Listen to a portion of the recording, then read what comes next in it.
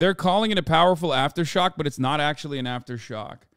It actually is uh, a a whole ass earthquake on its own. Earthquake has struck the Turkey Syrian border region. Now, at this point in time, we understand it has a magnitude of 6.4. I guess like the weird silver lining is that because the earthquakes uh, and the recovery was already happening, I think like this one is not going to have as much immediate damage. I think, but I'm not sure given how fucking uh, awful the Turkish infrastructure has been thus far. The buildings are already damaged, so most people are not like going back into buildings. At least like never did in uh in the uh in the Istanbul earthquake, right? In the in the 99 earthquake. I hope people were not inside of the remaining standing buildings. Um, because I, from what I understand, they uh, this this basically like took down a lot of the other remaining buildings as well. So far from the from the old earthquake, the number is at 47,000.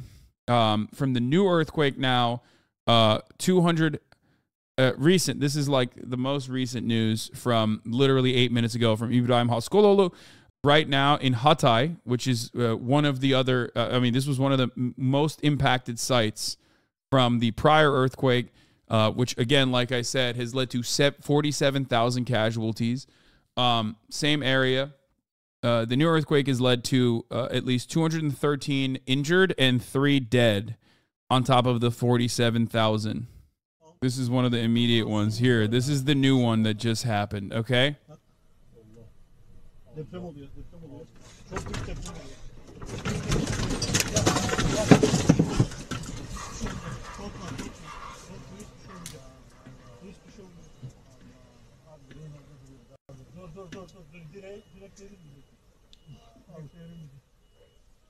Allah.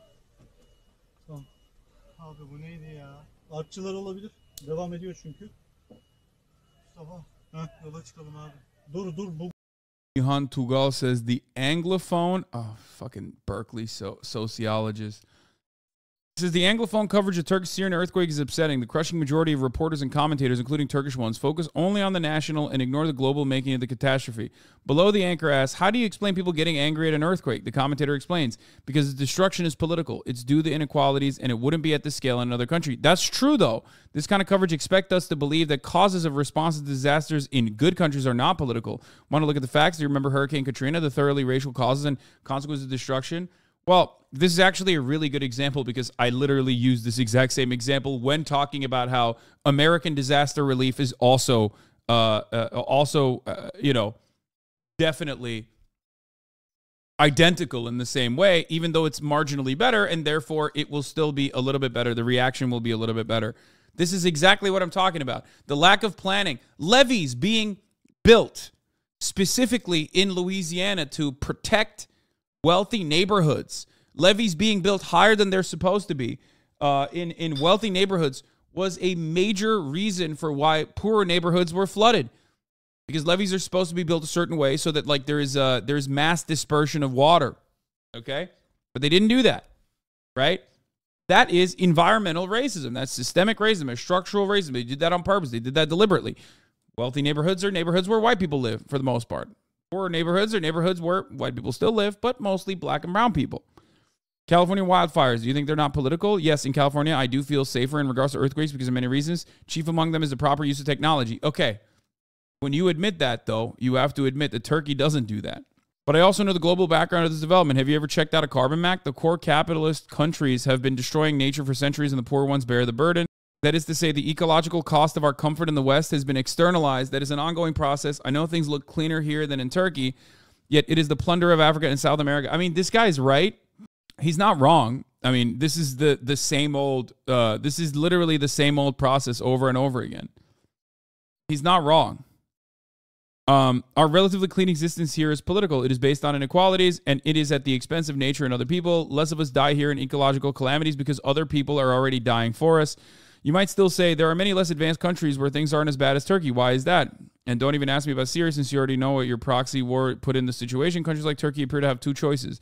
They either accept their middling place in global hierarchies or their capitalism becomes as wild and destructive as the European capitalism of the mid 19th century, but now equipped with state capitalist tools in order to catch up.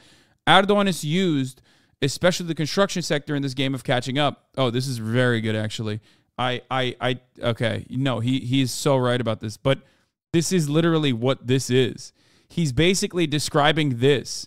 When Turkish people talk about the inequality in the country, when Turkish people talk about like the, the lack of support and the government in this country and why it wouldn't happen in another country in a similar capacity, they're basically comparing the United States of America to Turkey and saying that it's literally this, what he's describing here, that like uh, Erdogan's uh, Erdogan's development, Erdogan's development projects were were on overdrive because it was politically fashionable for him to do so. that is precisely why Turkey's self destruction is also coming through poorly constructed airports, roads, and buildings. Turkey stuck to the first path before 1980 and fully embraced the second after 2002. Things would have been better if it had struck so its servile ways, but not much better as the 1999 earthquake shows. Yeah. Forcing Turkey to revert to its pre Erdogan path, as the commentator below suggests we should, would give the West ease of mind, but would not go to the root of problem. The change has to be global. While we are fighting for global change, I hope Turkey gets rid of these rapacious developers at the top, but doesn't replace them with milder developers who produced the 1999 calamity. The latter are the mainstream West candidates for perpetuating business as usual. Okay, I, I do like it. I, I take it back. He, I mean, he spat uh, uh by the end of it. At first, I thought he was just going to be like a semantics, like annoying, and and talk about like the semantics of the situation. But he's just looking at it as a as a you know, uh, from a anti-capitalist perspective, um, which is that these issues are global. You will not be able to you you will not be able to like find a perfect solution, um, especially because the at the heart of the problem is capitalism, and that a social democratic liberal party that comes into power is probably going to revert back to the 1999 pre Erdogan days of development, which, as we all know, as you guys know in the chat, because I talked about my own personal experiences from the 99 earthquake, was still genuinely a calamity and was devastating. It's just things have gotten even worse. But the solution, of course, will not be uh, the the Social Democratic Liberal Party. The solution would only come through uh, a a you know genuine change, a dramatic change in uh, a dramatic change in in uh, the way that the Turkish economy is organized. That's just an assumption from him. Who was in power before occupying in the '90s? Turkey had a, a, different approach that was still very much capitalist, obviously, but at least like there was uh, there was a more liberal attitude, even from right wing parties. Erdogan Many people in Turkey only talk about Erdogan from the perspective of social conservatism. But one thing that Recep Tayyip Erdogan did was accelerate the privatization of previously nationalized industries, um, all the way from telecommunications to, uh, you know, even fucking beer. You know what I mean? Like that, the entire beer development wasn't nationalized, but like Turkey had national breweries, for example. You know what I mean? So, um, that that definitely came after the Erdogan regime, which is why the West actually loved the Erdogan regime and still kind of loves the Erdogan regime. You know?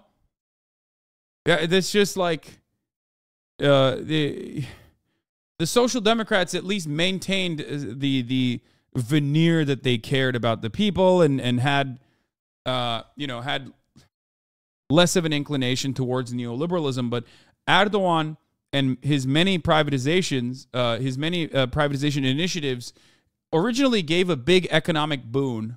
Okay, not a real one, but uh, on paper, it made Turkey look better. Okay, um, that especially the the rampant privatization.